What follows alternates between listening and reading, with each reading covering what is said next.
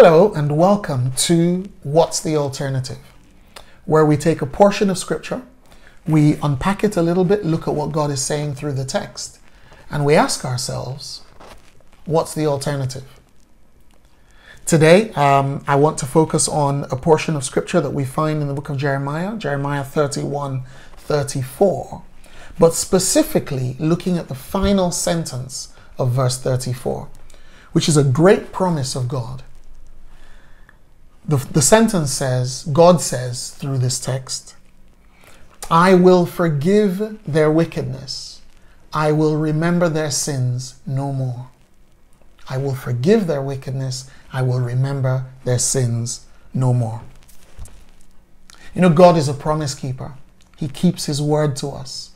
And if God says something's going to happen, it happens. Not usually, not sometimes, not most of the time. Always happens. You know, in the world that we live, many people make us promises. Um, I promise to pay. In fact, if you look at any currency, it says, I promise to pay the bearer on demand. You know, there's a promise there.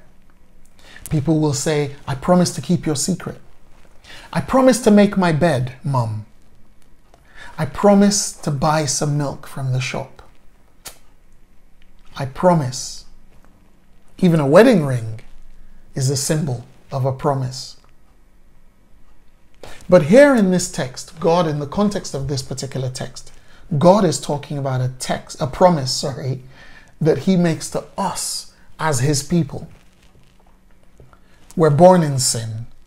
We're born in sin. We live in sin. But we cannot come to God through our sinful nature.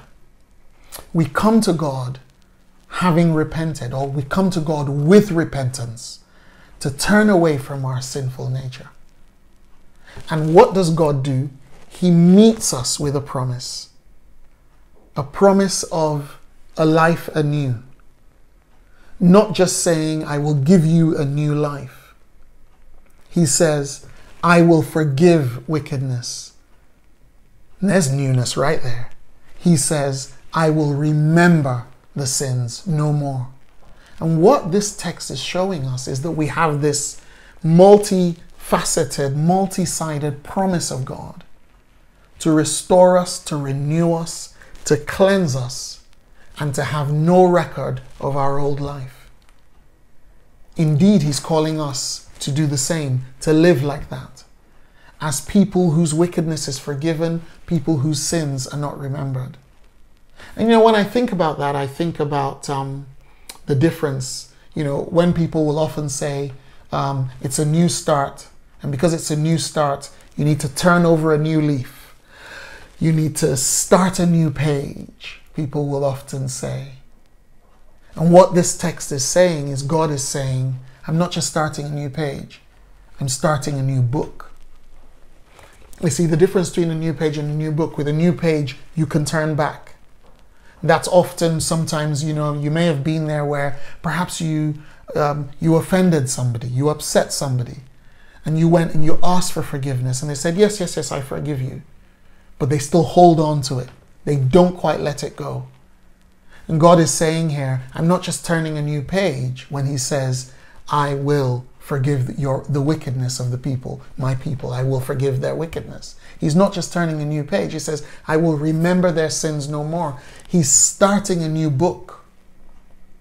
There will be no record, no evidence of our past mistakes.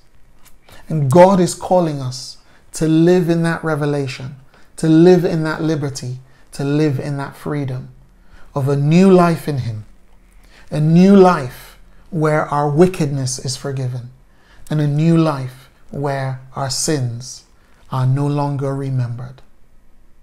After all, what's the alternative?